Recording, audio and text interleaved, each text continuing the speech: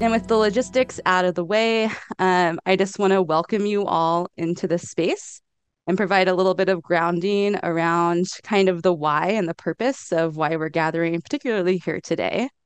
Um, this was a session that I needed for myself. And when Heather and Jen, the amazing organizers of the PFG this year, asked for calls for uh, session topics, this is the first one that came to mind.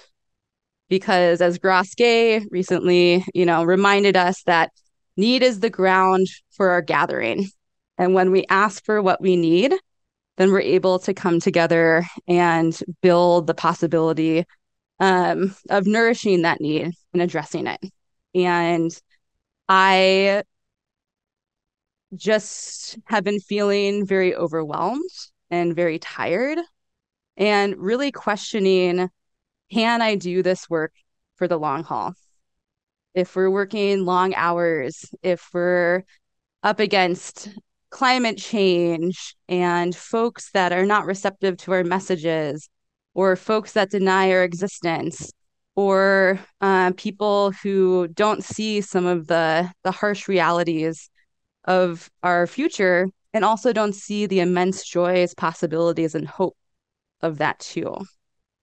And what does it mean to be working day in and day out in the field or in community or at our our tables and in our kitchens and just feeling worn down, tired, exhausted, and in a state of question, constant questioning. And I've been struggling on how to address this within my personal life and how to address this in my professional life. And I don't have the answer. And so I wanted to help make space and bring together folks that one might be feeling something similar at times, and two might have come up with really great solutions and workarounds in ways that we can build ease and hope and possibility. And one of the greatest gifts that um, the Perennial Farm Gathering can give us is that we're here to gather together to oftentimes solve the problems that we're facing. And so today I'm really grateful um, to be in conversation with three really amazing people. And so today we're going to be chatting with Katie Bishop, with Hannah Hemmelgarn, and with Stephanie Gutierrez, and talking through how we can care for each other as we care for our work for the long haul. Um, and with that, I'd like to indu- or, uh, invite each of our panelists to unmute and introduce themselves. And Stephanie, would you mind going first? And um, introduce yourself in whatever way you would like. And then I'd really love to, to ask the question um, what feeling or reaction do you have to the term self care? It's in the title, but we all have different reactions and understandings of, of what that phrase means. So thanks for being here, Stephanie. Um, hi everyone, Dagote, she Stephanie Gutierrez. Going to say hello. My name is Stephanie Gutierrez. Um, I'm San Carlos Apache. Um, my tribe is located in um, southeast Arizona, about 90 minutes outside of Phoenix. Um, our ancestral territories are in south or southeastern Arizona, um, New Mexico, and northern Mexico, actually. Um, and it's pretty cool. Fun fact I like to tell people this is that if you overlay um, the different bands and um, clans from um, in our territories um, of Apache people, they align mostly with the emery oak distribution. so that that is an oak tree and an acorn that San Carlos Apache people collect, and it's really important to us. Um, and so, I, a little bit about myself. I um, I am a movement instructor, a consultant, um, and I'm also a uh, co-director of a forestry program um, for a nonprofit called EcoTrust. Um, and so today I'm going to be speaking about my experiences, like as an individual um, coming to uh, my my work as a nonprofit in, in and in agroforestry too. Um, and so to me, self care. Uh, when I think about self care, first I think about like empathy and compassion.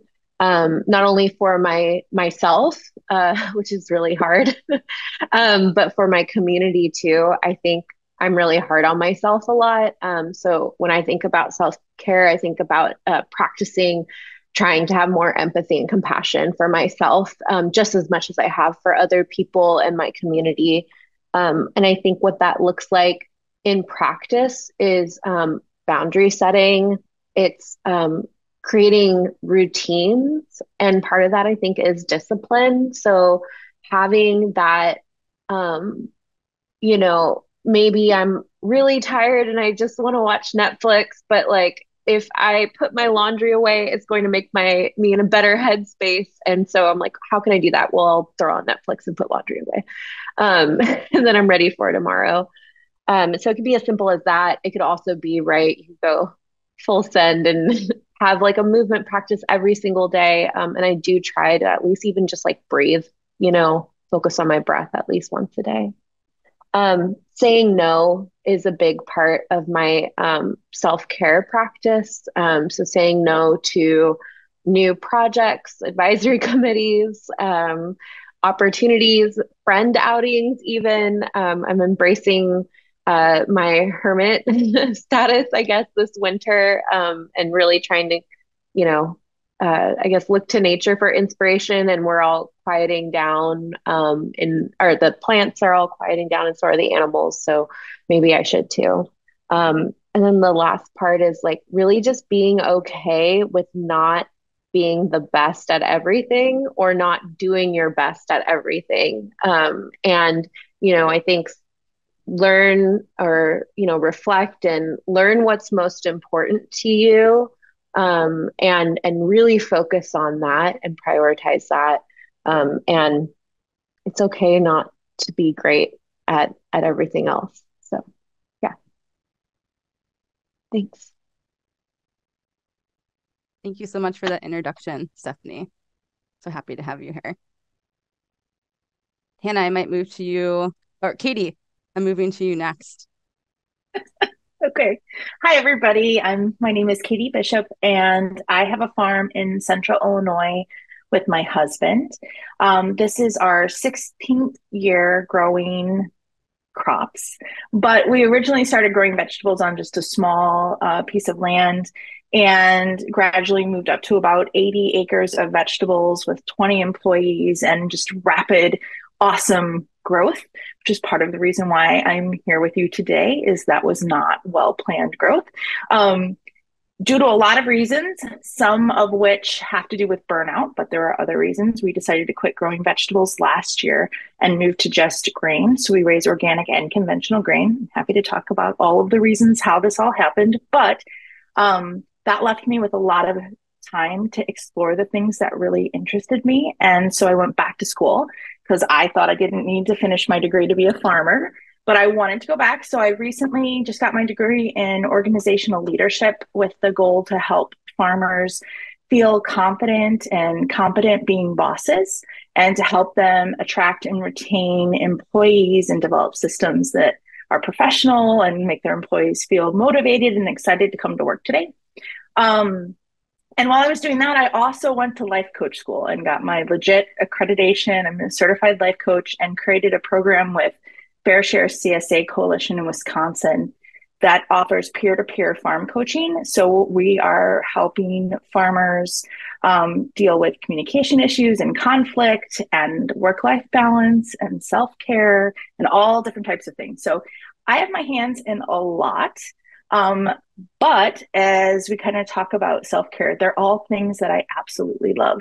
So, um, similar to what Stephanie says, I say no to the things that don't bring me joy and I don't instantly feel great about. That's a wonderful way that I've been able to balance myself.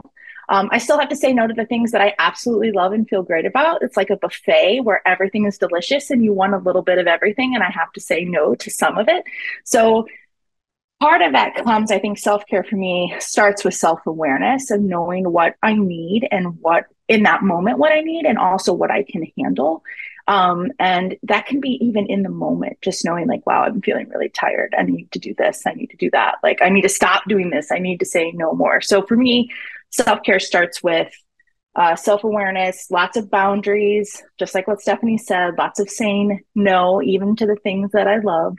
Um, but with that also comes a lot of patience and forgiveness and willingness to not be perfect. Again, like Stephanie said, I think that's really important. Um, but also embrace embracing nothing. Like I'm in love with rest. I'm in love with doing nothing and trying to reduce that stigma that farmers shouldn't rest or that they should be, you know, productive. So that's kind of where I'm at with self care right now. And I'm also just really excited that you guys all came today to talk about something. And I'm so grateful for the Savanna Institute for making space for this because I think it is much needed in our industry. And I'm excited that people want to to talk and share. So thank you. Thank you so much, Katie. Hannah? This is also juicy already. I love it. So um I'm Hannah Hemmelgarn. I'm the assistant program director at the Center for Agroforestry at the University of Missouri. And I am looking out my window at the sunshine hitting the garden. And I, I just, I'm just feeling like a, there's so in this like doing nothing has to be like an in the moment practice, I think. and like presence and paying attention for me is part of that practice. So like just inviting you into the presence of my the space that I'm in right now. Um, I'm on um, ancestral lands of the Otoe-Missouria and uh, ancestors and descendants of Dhegiha Siouan peoples, uh, including the Osage and Quapaw and so many others that have called this place home. So I just want to call that out um, and the importance of that work, which is, I think, aligned with what we're talking about here too. Um, in part because I think just like there's this duality between like you're either resting or you're working your butt off. and I want to bring those things together if that, you know, I think that's possible. Um, Jon Kabat-Zinn is a, a, meditation guy who I'm I'm in really into his writing and um, a lot of what he writes is like just don't sit down and well he does say sit down and meditate but like you can just do the meditating in your life actively um, and and also as part of that duality, like um, trying to resist the binary between self care and community care. That like the we are con- just like Ross Gay's talk was so on point for all of this. Um, that we are in dependence, right, um, with each other, and there's no way around that. so honoring that for me to be able to take care of myself means that my community to, can help take care of me. And that means that I am also helping take care of my community. And all of that is, it's like um, all, another kind of resistance of um, that that individualism moving towards like, what does this look like? So I'm not, I know we're going to talk about sacrificing later, but um, rather than the duality like bringing it all together so that care in all the ways that it shows up is just part of our lives. We don't have to, yeah, give up something to do to do it. Okay. That's actually a perfect segue into what I was hoping we'd kick this conversation off with was um, this word care. We, we've used it a lot. We're going to use it a lot again. Um, it was something that Gay brought up quite a bit within um, within his keynote. And one of the things that he said, which really resonated with me, is that practices of care are the ways that we get by. And it's a really great kind of pithy phrase, but I wonder if we can spend some time unpacking that. Um, we talked about self care a little bit. Hannah, you brought up community care. Um, what what the heck is a practice of care? What does that what does that look like? What are those things? And Stephanie and Katie um, brought us a couple of them. So the practice of saying no, the practice of giving ourselves compassion, uh, the practice of discipline, that of patience. Uh, some stuff is coming in the chat here, but what are what are those practices? And maybe ones that we don't often think of as a practice? I'm just going to throw one out because it's for anyone who was in the keynote right before this. Let's think of inefficiency as a practice. And I like, you know, somebody mentioned going on walks during meetings, like trying to not do everything as quickly as you possibly can. there there's this thing. So someone mentioned Jenny Odell's book, How to Do Nothing, which oh my God, it's so good. You gotta read it. Um, and she talks about uh how like the or no, you know what? This is actually from 4,000 Weeks. Um, which is also a great book. I'll put a link in the chat or it's it's like a both of those are not how-to books, even though you might think otherwise from the titles. 4,000 Weeks is like about how short our lives are. And um, so one of my little mantras of inefficiency is do the next most important thing. And the next most important thing very often is just like be, petting my cat. I'm done.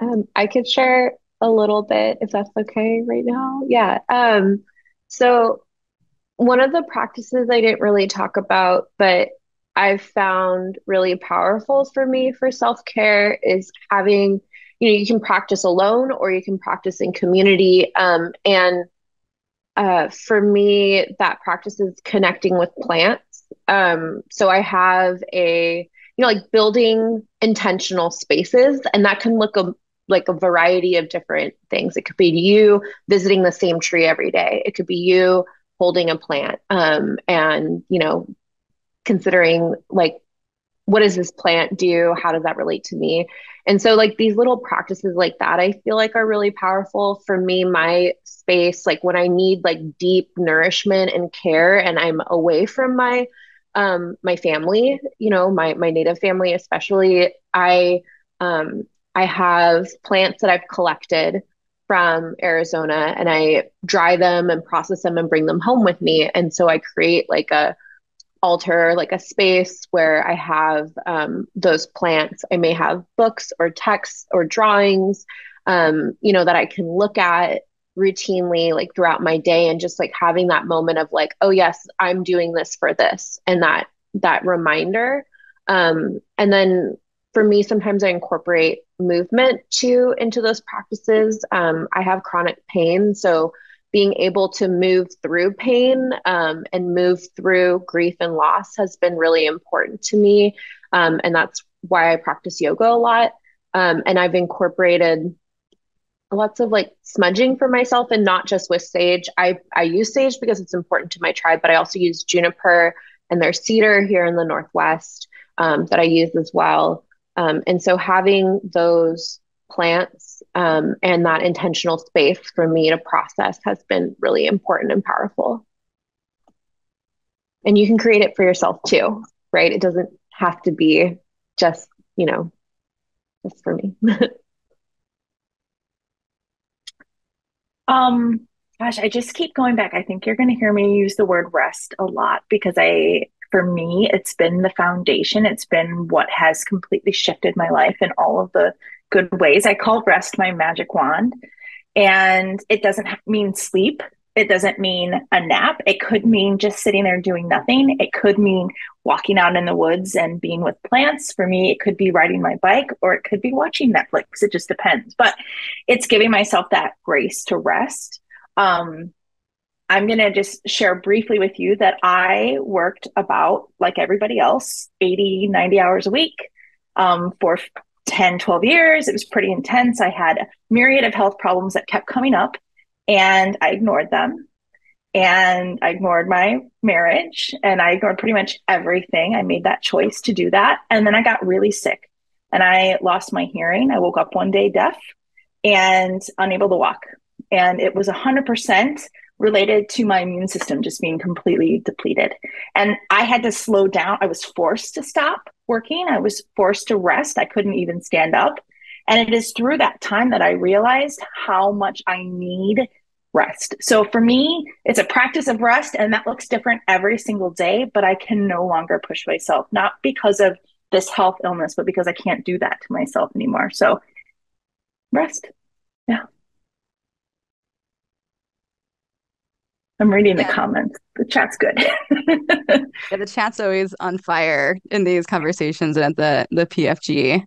Um, this this practice of hair um had me thinking in, in reading through Ross Gay's work the last couple of months, and then especially this keynote today, I've been thinking about the spaces in which we do practices of care. And so often it is in this individual space and sometimes in a community space. And oftentimes we don't actually bring that practice of care when we're working with folks outside of our communities or folks that we're meeting for the first time. And uh, my work especially deals with lots of different types of people that um, sometimes are excited about the work I do, and sometimes are skeptical, and sometimes are hostile to the the types of work um, in perennial farming and, and agroforestry. And I Ross Gay, I think, challenged me to think through like, what does a practice of care look like when someone's yelling at me about a windbreak? Like, is there such thing as a practice of care in these areas of conflict, or are there ways to build in practice of care with folks in the beginning of a relationships or, or interaction where we can model what that looks like and then invite them to join us in that practice? Seems like this, I would love to hear it. And now we have a life coach in the room. yeah, consultation right now. I guess that's what's happening, sort of. Um, I was just thinking about that that example um, and how hard it is to set boundaries. It's like when we got started, I was telling Katie my throat has, was kind of sore this morning, and I think it's because I picked something up from our parents as teachers person who came into our house coughing and sneezing, and we sat together for an hour. And I'm really grateful for her support. And I am regretful that I was not more brave in asking her to just reschedule or at least put a mask on. like, um, and I'm paying the price now. And like boundary setting, rest is hard. And Katie, it sounds like you, Katie Bishop, you know that well, um, having had to learn the hard way.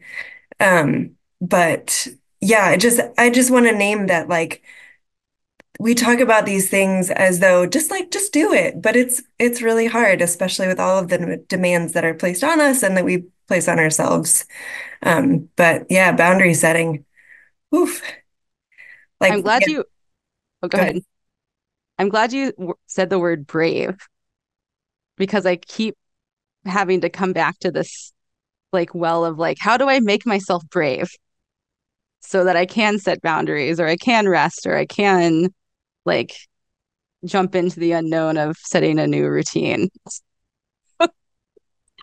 well, first of all, Katie, I think you are incredibly brave. I think everybody in this room would probably, who knows you, knows you as brave. And so I think you're already there.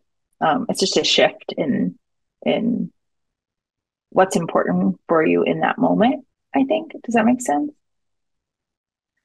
Uh, boundaries are huge. And I never, I look back at, at my farming career and what made me work as hard and as long as I did. And it's usually because I didn't set very good boundaries. You know, I, I felt like I had to, but I think the minute you realize that you're actually making a choice every single time, it is a choice. You can be empowered to choose differently. You can choose not to do the thing that somebody wants you to do that you don't want to, or you can choose not to be in the room with someone who's ill, or you can choose to ask them. Once you figure out that you have that power to do that, it kind of it shifts the story, right? If you feel like it's happening to you and you're the victim of it, then that's when like the resentment starts to build in. But when you when you feel like when you are making those choices consciously, you can decide for yourself.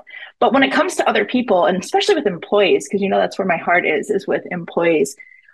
I feel like farmers set this tone that um, they everyone has to work as hard as they do.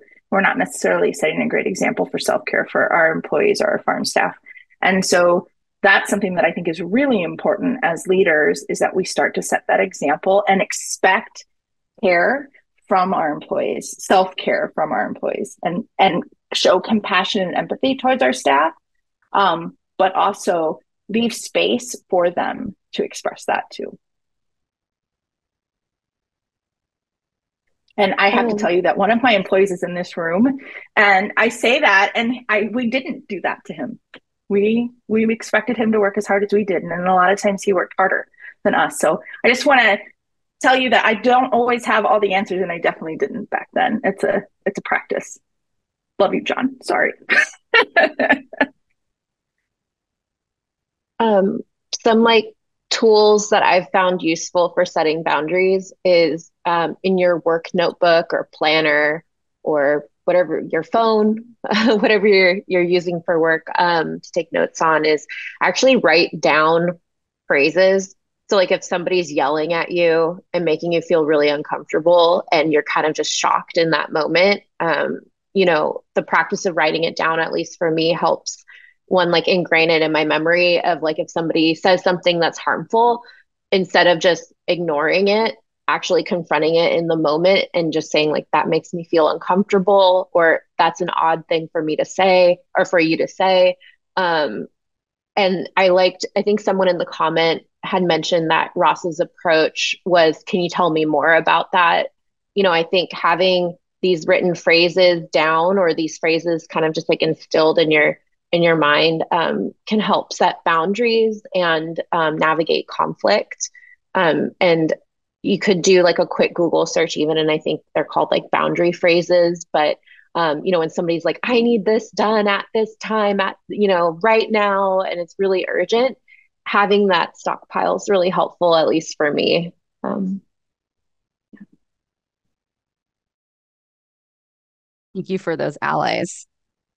I think there's meditation was brought up a couple times, and I think Gay talked about this too within his last session. Is like the repeating of phrases, and it feels strange in our bodies sometimes to do these things of care, and we just, I, I find myself like sometimes getting caught in that, like this feels weird, this feels strange, instead of just like letting go and let it flow through you like the massage that I was talking about before we all hopped on. It's like, I don't want anyone to touch me. I refuse to engage in that that type of care.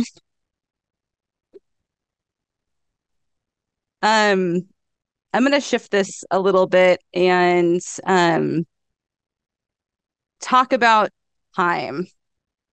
And time is often the big element elephant in the room. And Stephanie, you brought this up in your last comment around like someone saying, I need this now. It's urgent. It has to get done. There's deadlines. Um, and there is a true reality that there's only so many hours in the day and days in the week. Um, and how do you get around this sticky time thing where everything feels urgent and important and you might have other folks um, that tell you things have to get done now or you might have the weather saying, like it or not, the hard freeze is coming too early or too late. Uh, what, how do you work within this very real time constraint? So that would not be the time, I think, in my opinion, to start building your self care plan. Hopefully, you've done the maintenance ahead of time so that you can navigate because those times, those moments of, of rush, and intensity are going to happen on a farm. It's inevitable. Um, I don't think that you can necessarily, there are some things that you could do to make that a little less sticky. But for the most part, I think that if you're, you're already well fed and well hydrated and well rested and you already have gone to the doctor and you're already taking the meds that you need to be taking and you're already having those difficult conversations with the people that are with you and you already know what you really love to do i think when you have those things in place those sticky situations aren't as sticky. Also just the idea that they are short they're not forever and if they are forever then we need to talk because something isn't right if your life is at that RPM all the time. You know what I mean? But I do think you can't avoid that as easily as you can making sure that you're in the in a right state of mind and your body's in the right place at the right time.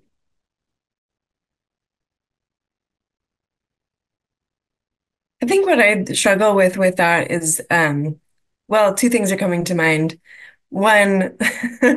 Ross Gay's um when he was encountering like the kids looking at their phones and the beautiful place was like, You're dying, you're dying. Um and I maybe this is out of context if you weren't at that session, I'm sorry.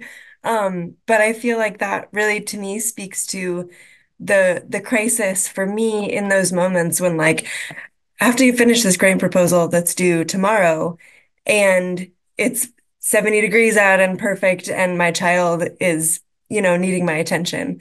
Um, and I, I honestly, I don't know what to do about that. And I think it becomes problematic when, like you're saying, Katie, when you get to that pace or feel like you're working at that pace on a regular basis.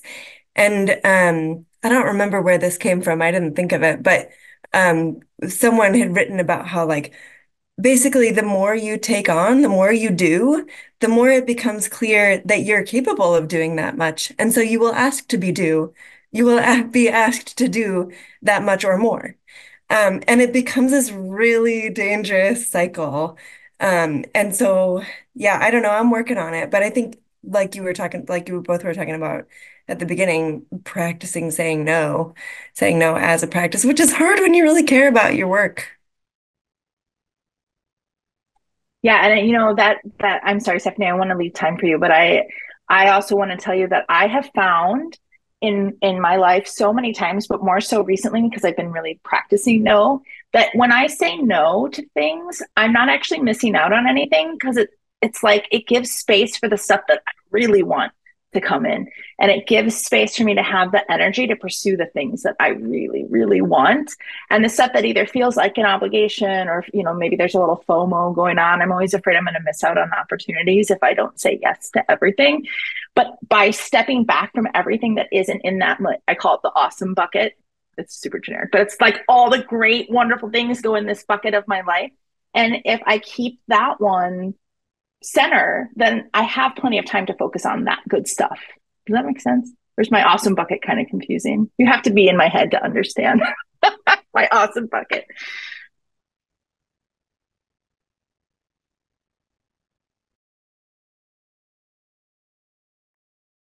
Do you, just as a follow-up to that, do you like lay out this is what can count for the awesome bucket, or is it an in the moment kind of not awesome enough, just barely awesome enough. well, I don't know. I mean, I I think it's a little bit of both, but I do have it written out. Like I do have the absolutely hell no bucket and I have the awesome bucket and then I have everything in between. And like the awesome bucket is going on an international, you know, travel with Oprah Winfrey talking about, you know, coaching and all that kind of like that's in that bucket.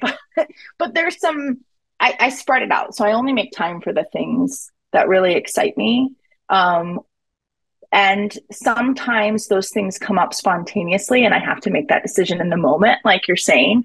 But I consciously list out the things that I'm not going to do anymore, or I won't give my time to anymore. Yeah. Savanna Institute, look, you're in the awesome. no, I love talking to people about self care, and I love talking to farmers, and talking to farmers will always be in my awesome bucket. So feels nice to be in the awesome bucket because I, I don't feel like I'm I'm in my awesome bucket sometimes.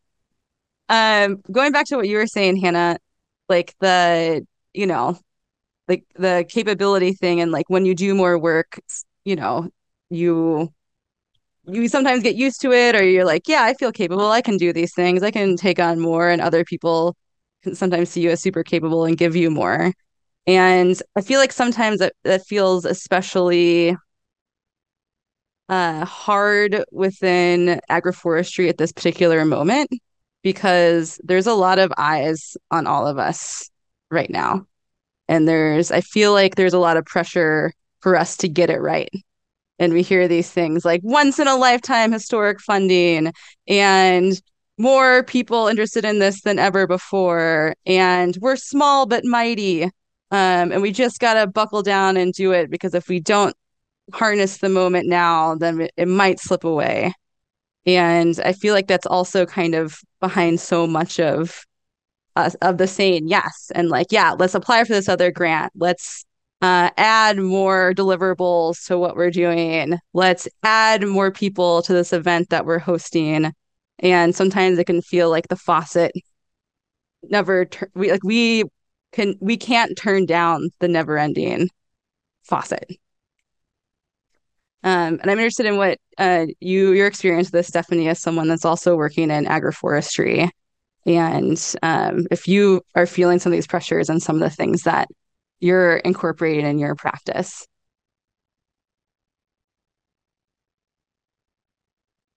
Yeah, I mean, I feel that a lot.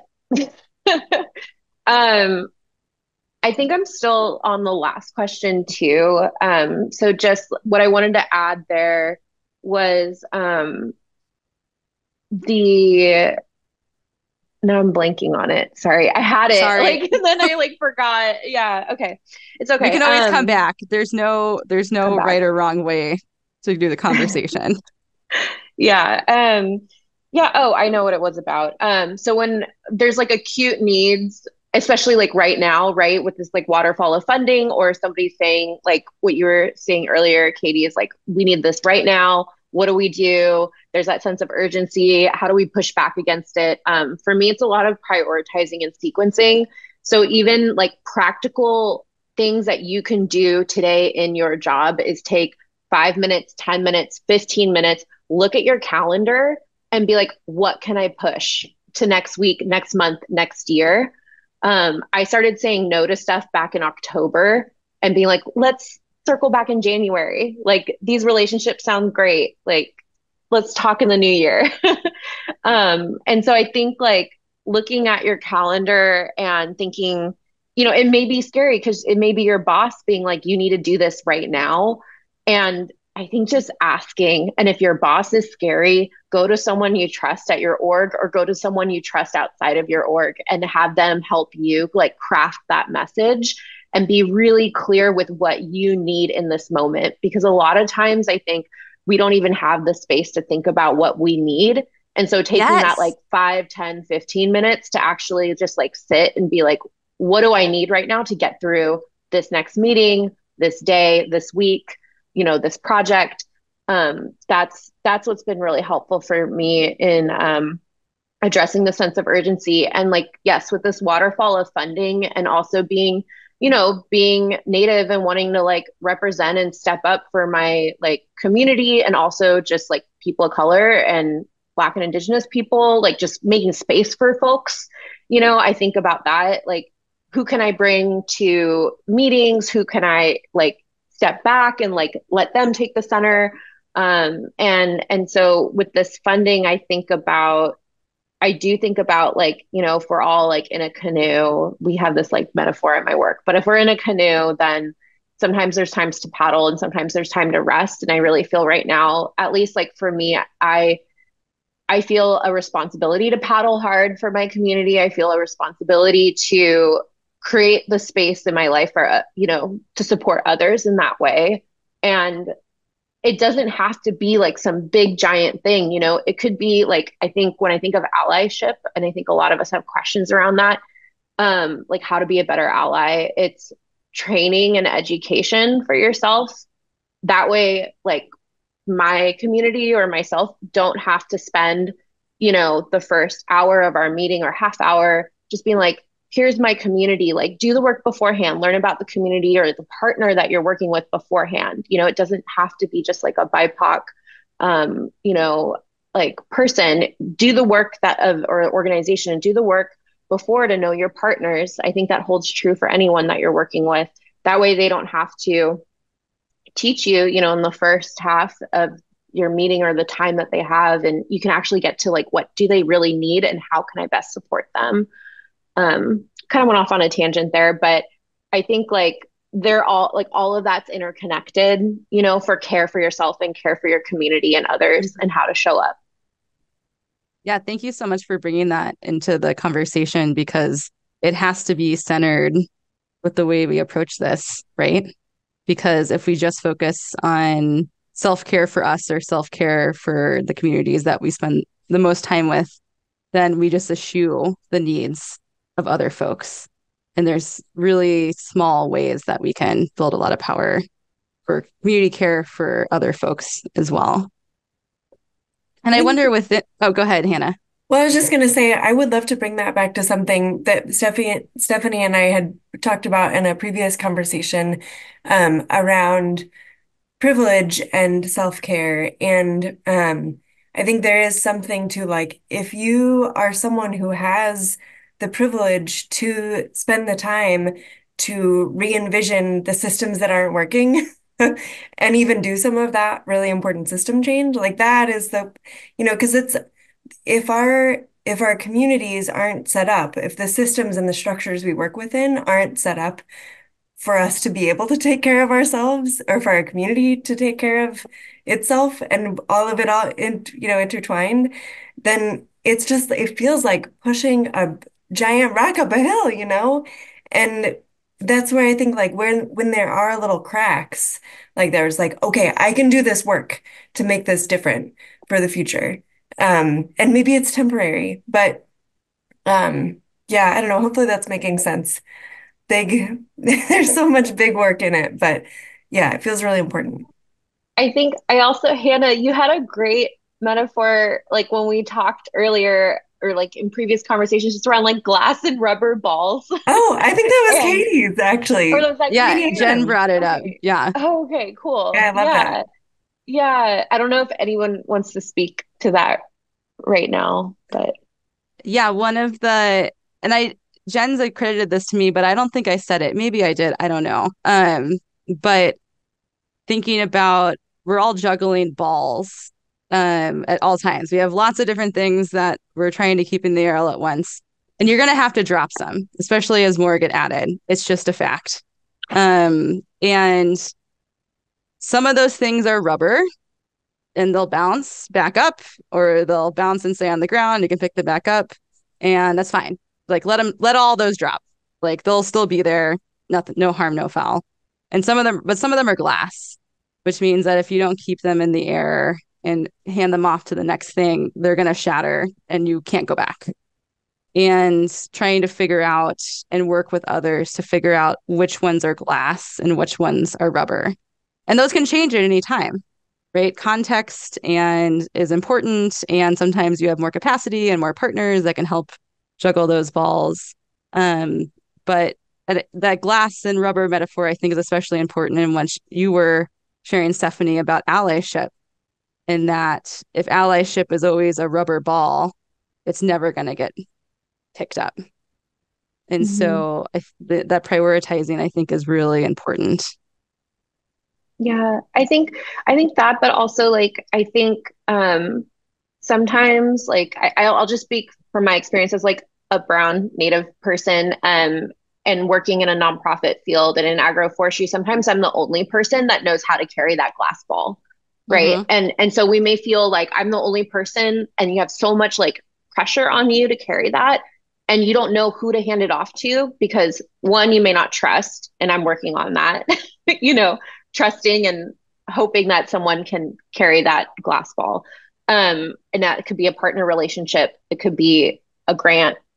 It could be an event whatever it may be. Um and and so also thinking about like how do I kind of like hold this? Maybe I'm like slowly passing it off and like training someone else, right? That allyship mm. um, and that partnership, right, with other folks is how how can we share all of that load um, together? Um, and I think like that's where like the the work, like at like learning, showing up in community, that's the type of like training that you could do for on your own to show up for other people so that you could help them then mm-hmm. carry like that glass ball also.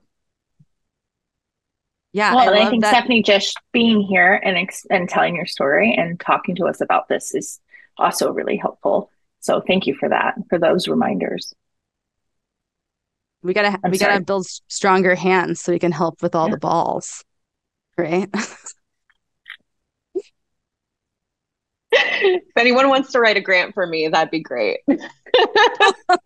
Fundraisers, that's a, anyone. I think that's actually a really good like say what you need, right? Like yeah. yeah. and that's one way that we can show up for each other, right? Is if you have particular skills that are easy for you but maybe harder for other folks to share them. Like grant writing is something that some of us are getting good at or really good at and it might not take that much time to share an hour or look over a grant proposal and make edits or help be like, I'll walk you through how to apply for a government grant, which is a nightmare. So that it's not yeah. going to take you and two think, days, it'll take you an hour, right? I think the flip side to that is we were talking about practices of self care, getting into the practice of asking for help instead of wishing or hoping that somebody would help, or just identifying the need but not sharing that need is also a really important form of self care, is because you can't do it all yourself. Sometimes it's hard to even verbalize what you need.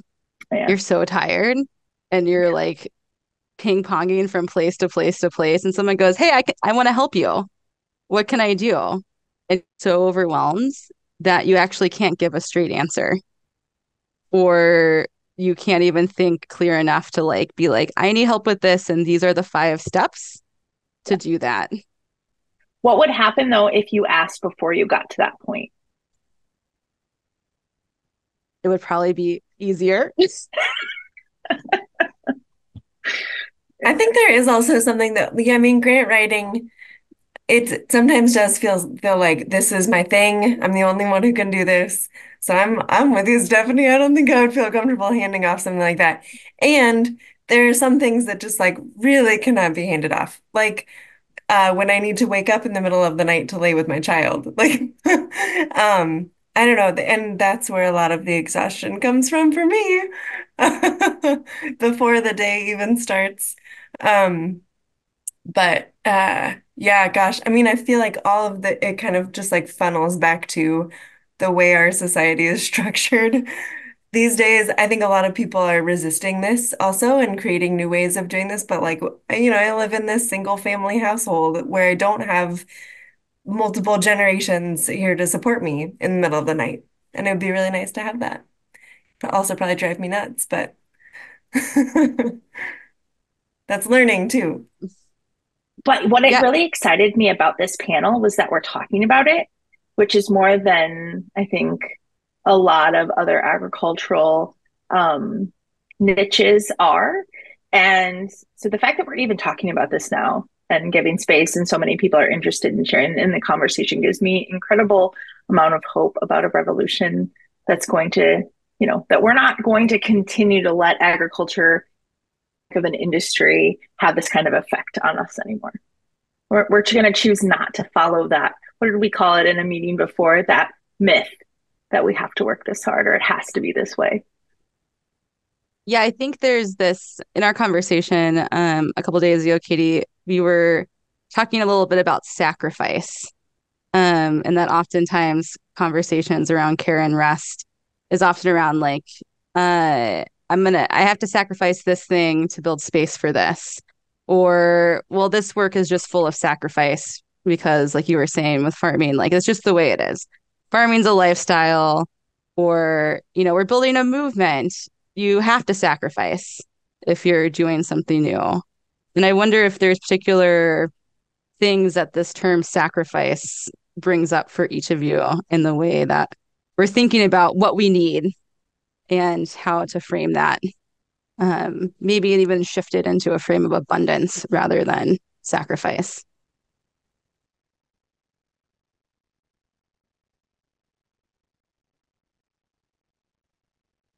Are you asking me directly? I want to make sure that I'm leaving plenty of space for everybody else to talk. Oh, I'm, I'm muted. Yeah, I, it was a it was a conversation oh, or a question okay. for everyone. So if the if you're moved to answer, feel free.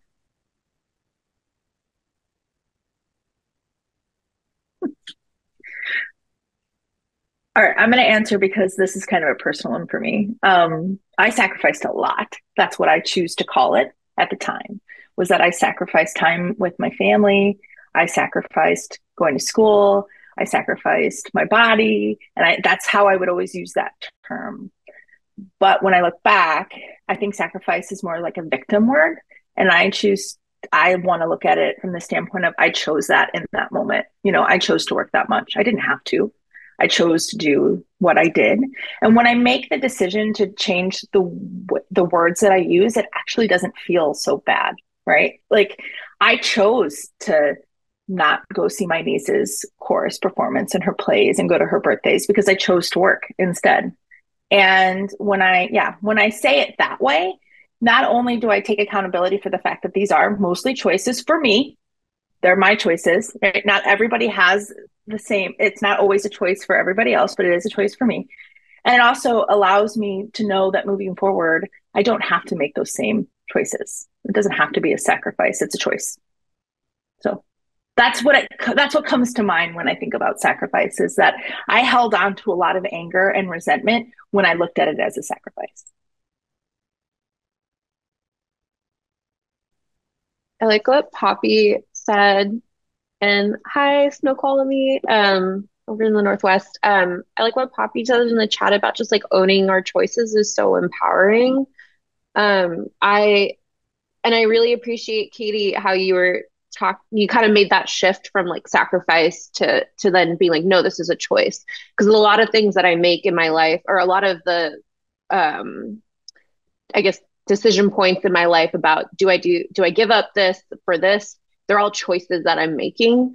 Um for me personally i don't use the term sacrifice just because of when I think of sacrifice, I think like there's not only in like my culture, but or my ancestors and my family that there are things that I I compare like my sacrifice, like working late and not having dinner with my family, to something that they did. That's like you know I don't want to bring it up here, but there's people I think every day who are making sacrifices, um, and and I just I just feel like what I'm what I'm doing is more choices that I'm making um, in in my life. Yeah.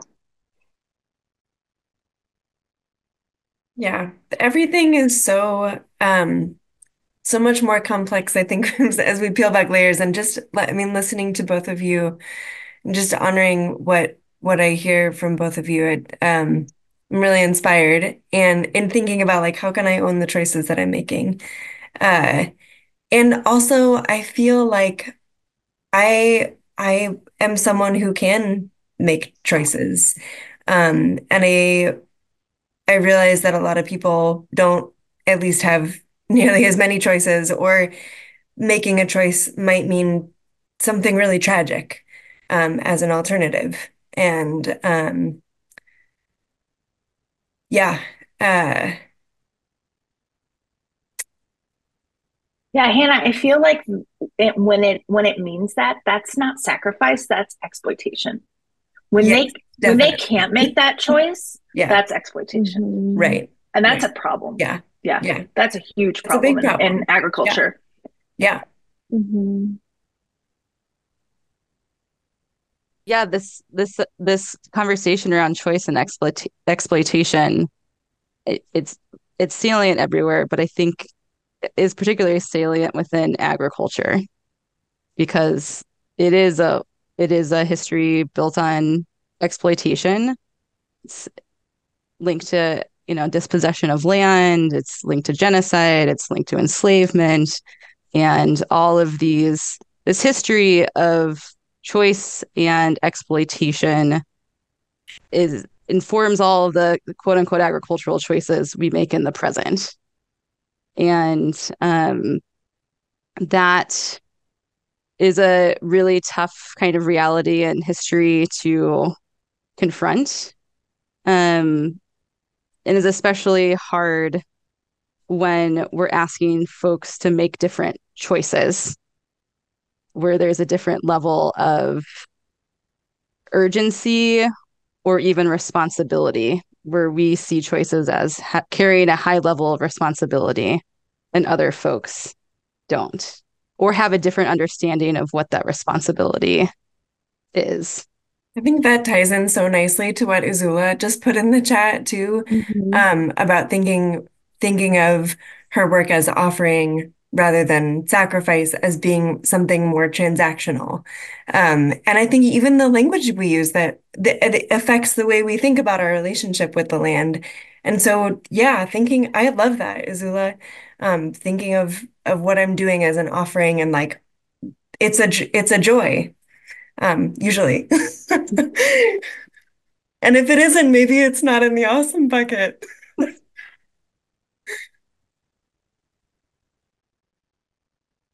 yeah, this this reframing I think is is one one of the tools that I've tried been trying to use with guides, you know, like the um Ross Gay and Robin Wall Kimmerer and each of you here and all the people that I interact with who are, you know, are are good reminders care reminders that, yeah, what we are doing is kinship and it is offering of service and care and intention and community and love. Um, but I can do that for myself, but how do I share that with other people that haven't gotten there yet or have a different framing? How do we invite them to the table of care?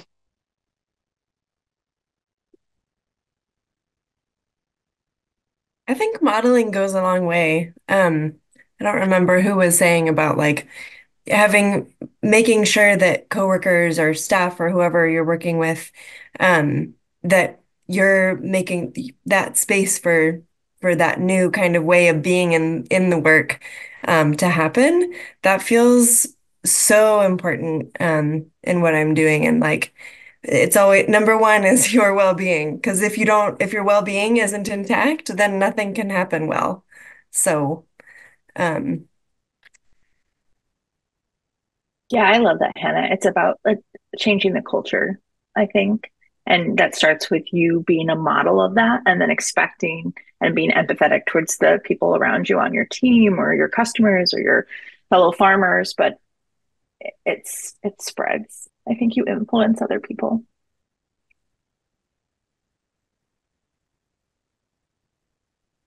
So we're we have 15 minutes left of our session and I wonder I'm going to ask one more question and then I'll open I'll ask the same question to the audience um which is what do you need to do this work for the long haul?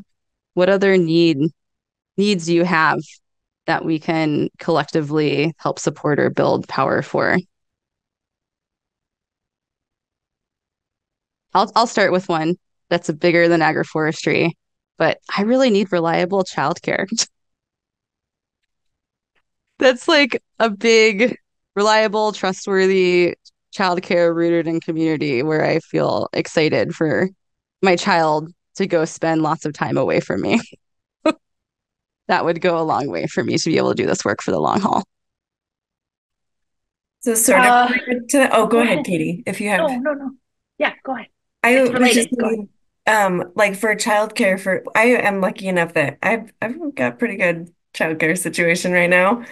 Um, and uh what I feel like is is really a big part of that for me is that I trust the people who are caring for my child. And I feel like what I need is trust across all of the different layers of this. Um, trust for other people and like you were talking about, Stephanie, like if I can just trust the other people to hold the glass balls, then maybe we can try this. Um, and and also then like I need it back to me that people trust that I can get done what needs to get done. Or like uh, there's actually something that I I'm just reading the Book of Delights now, and um, there was a passage that I just read last night that's like, isn't everything always a warm up? Like just recognizing that we're all just trying. And and I, I think it comes back to the failure piece, but like trusting myself to be present with failures and to be able to move through them with which is sometimes not a great skill of mine, but um, but I'm working on it. So yeah, trust is I think at the core of it for me. I love that. I was going to say affordable and accessible mental health care, I think is huge and needs to be and stigma free mental health care, especially for farmers. Um, but I kind of want to build on what Hannah said and say grace. I think I need grace from everybody in my in my life to let me fail and to not expect a perfection or a level that I can't get to. And part of that is also grace of myself, letting myself not letting myself drop all those rubber balls over and over and over again and just keep going and being proud of my efforts instead of worrying about trying to be perfect. So, yeah, grace and mental health care. Um, I need a trusted partner, like a confidant. And, you know, I have like my partners and community outside of work that I think really helps support me show up to my work. Um, and sometimes those communities overlap. Um, but I think having like a trusted partner and an ally, a confidant, co-conspirator in within your field is really helpful. Someone that you can call and you know, just ask for advice or just be like, I had a really bad day. Can I tell you what happened? Or like, I have a really bad day. Can you tell me something great? like, you know, make me feel like a little bit better. um, and I do want to address a little bit, or I don't know, or sorry, I'll pause, but I, I do want to get to Kaylee's question in the chat. Um, Go for at it. some point. Okay. Um, so Kaylee uh, had asked, like, what happens when we are in positions of employment that help us feed families and survive? Saying no has implications. Um, Self care has become its own industry, and it seems like a lot of additional work to have time off. Um, and it's like, what do we do in everything about our lives has been colonized, co-opted, and commodified? Yeah, that, yeah. um, I I don't have an answer. I'm gonna be honest. Uh, I can just offer my experiences because um, I think I don't know you, Kaylee. I don't I don't know your specific position, and I don't know if you have a choice or not. Um, and it sounds like you may not.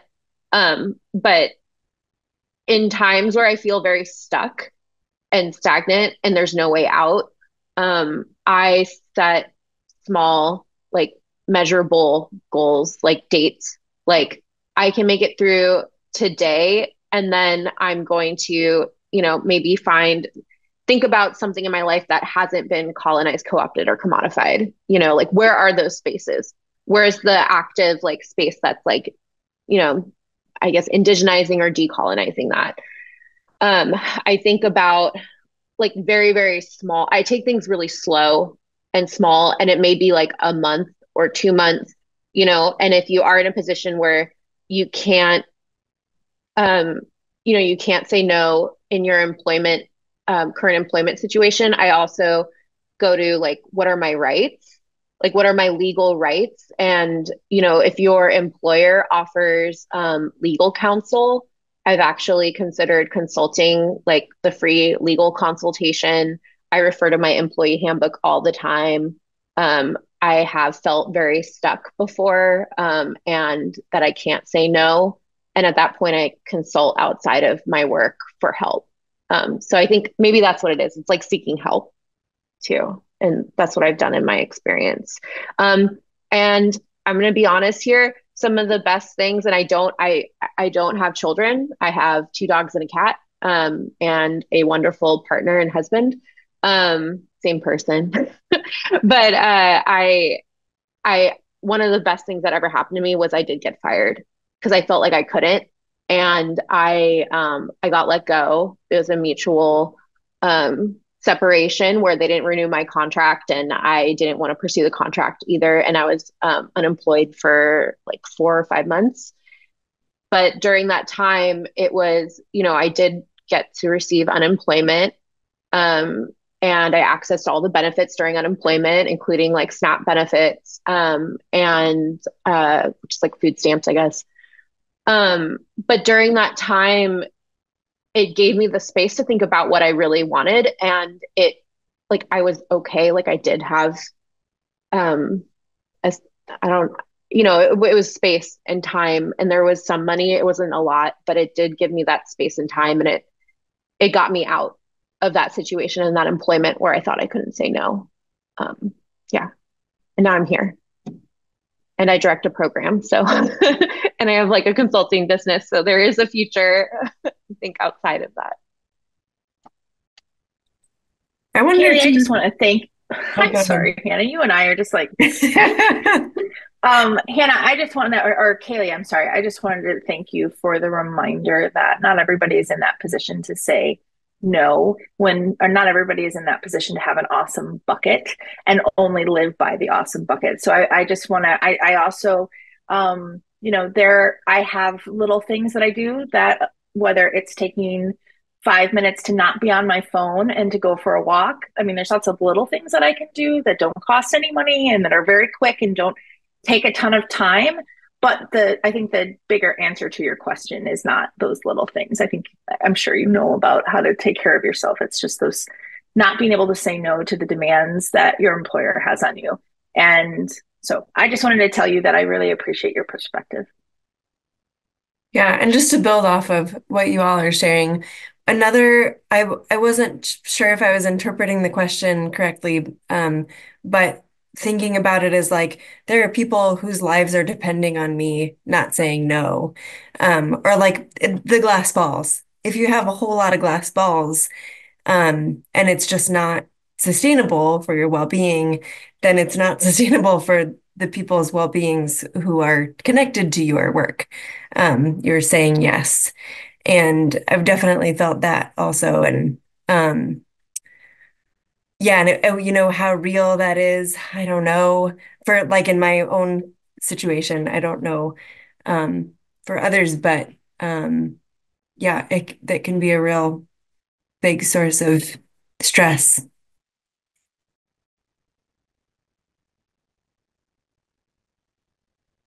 Oh, you're muted.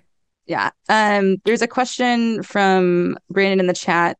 Could we talk about uh, a bit about particular difficulties having to do with perennial systems where urgency may not be easy to gauge and many tasks are in some way forever? Something you'll never cross off your to-do list that would bring a lot less stress to your life. This is something that I know at least Katie Adams and I have talked about because you know, we we are in relationship with trees. All of us here are, I think, and trees are living at a different pace. Um, you know, and like the just the um the the speed of things right now of um like what Stephanie was talking about this like big influx of funding and all the there there's like there's a lot of excitement and it's amazing and it it feels really urgent and that is not how trees operate. Um, and I think really digging into that, sinking into that reality is so important for the long haul of caring, tending um, ourselves in relationship with trees.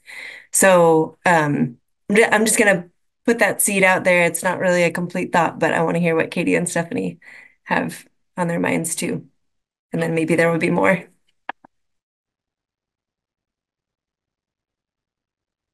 Yeah, I often feel this tension with the rate that our work is moving now and the rate of tree growth.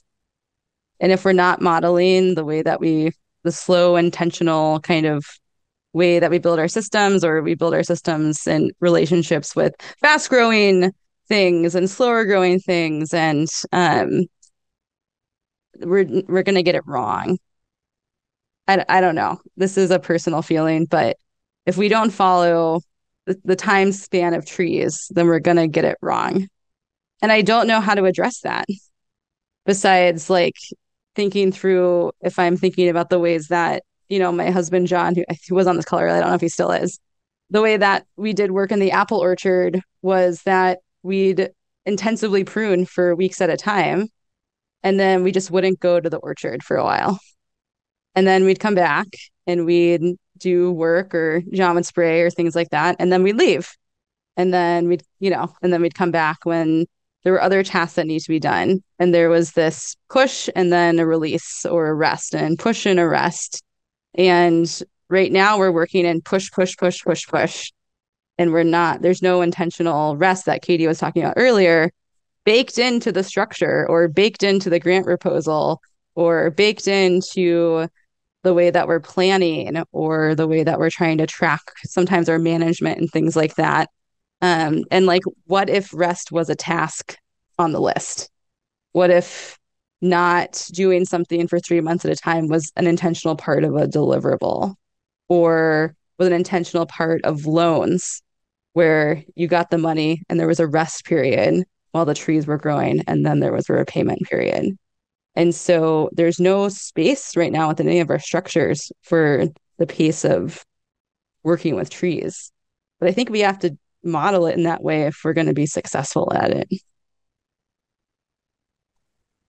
I think that's really interesting because I don't, I'm actually an annual, I grow vegetables, annual vegetables. So I have no experience. I love trees. They're like my best friends, but I don't actually grow any trees. Um, you know, with with vegetables, uh, so many of my annual farmer friends, they don't farm over the winter, and that's when they're supposed to be resting. Only we started to, a lot of us started like season extension and root storage and winter CSA and all these other things that encroached on that rest time. And so now a lot of us don't have any time off to rest. So I love that idea, Katie, to kind of model your trees and build in some rest let me tell you, it's a really hard sell. No one likes that. I should say people in decision making don't tend yeah. to like that very much. Unfortunately, they're the only ones that can change that system. yeah. I wonder that it, there's a uh, that that uh, rhymes a little bit with something earlier about planning the maintenance because the maintenance is what you're going to be doing forever, uh, yeah. uh, and and it doesn't often get planned. Uh, so it's it seems like a, a, a rhyming need there. Yeah. Maintaining this.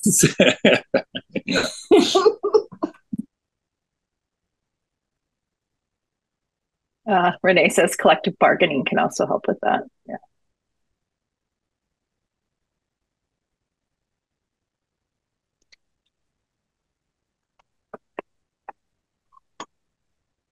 Well, we're nearing the end of our time together. Um, and I wonder, Stephanie and, and Katie and Hannah, if there's uh, any small gifts of care that you can leave for for everyone here. What what are you inviting us to do as we leave this space? Mm-hmm. Well, I just heard my my partner and child come into the house. And so I am going to repeat that mantra I mentioned earlier about doing the next most actually important thing, which for me after this will be being with my family. Um, so go do the next most important thing for you that's in your awesome bucket, however, however you figure out what that thing is. Um, that's going to help you sustain your well-being, which will help your the rest of your world sustain its well-being and on and on and on. Um, I like the broken record. I'm going to go rest after this. Actually, this is my last bit of work for the day. And um, I'm going to go join my family as well, which I'm excited about. But I would like to just invite everybody to find a moment of rest that isn't napping or watching Netflix. Figure out or being on your phone find something that you love and call it rest and then commit to it. Um, I want everyone to go outside. And if you're not able to go outside, maybe look at a photo on your phone or a video stream of some nature. um, and I think my invitation is to go outside and like or look at the screen, the nature photo, and take a breath. And while looking at it, and yeah, say hello to a tree, um, and ask ask yourself like, what inspiration can I draw from this? Um, what can I learn from this? And it could be like a cirrus cloud. It could be you know a cumulus cloud. It could be I don't know a raindrop. It's pretty like foggy and rainy and like typical Northwest day here. Um, that's why lots of rain metaphors. That's my invitation to you. Well, thank you to Stephanie, Katie, and Hannah for joining this conversation today. And thanks everyone that joined us and held space um, as we figure out what care means and how to do it for each other. And I feel nourished and like I have a really healthy list of things to incorporate. So thank you for answering my call to help and, and for being here today. And go rest. Thank you. And be cared for. Thanks all.